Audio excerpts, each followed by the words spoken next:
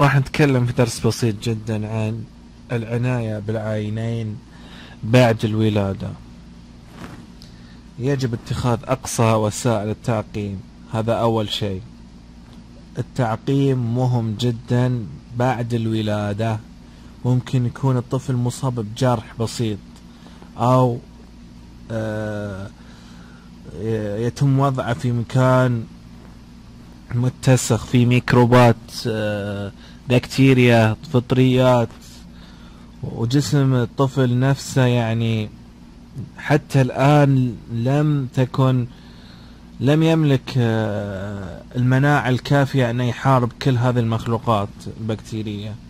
الجسم الإنسان ممكن يحصل على على المناعة في الفترة القادمة لما يعني يكون ناضج جسميا. وحتى الآن الطفل ما يقدر يقاوم هذه الأمراض كلها. ولازم ننتبه آه، من وسائل التعقيم هذا أول شيء. لابد من مسح جفون الطفل بشاش معقم في ماء أو محلول البوريك. آه، محلول البوريك آه، ممكن يتم استشارته من قبل الطبيب. أيضا آه، يتم العناية بالأنف عناية الأنف الطفل. تنظيف الإفرازات المخاطية أثر عملي بعد أثر عملية الوضع والولادة باستمرار دائم.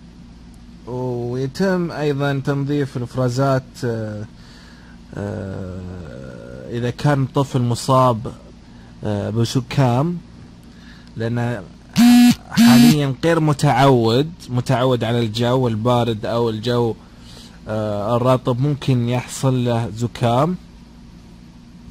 فيعني الأم تحتاج تهتم في هذا الجانب تهتم عملية إزالة آه، الإفرازات المخاطية آه، في هذا الموضوع. إن شاء الله نشوفكم في درس قادم. كان معكم الباحث خالد بن سعود الحليبي.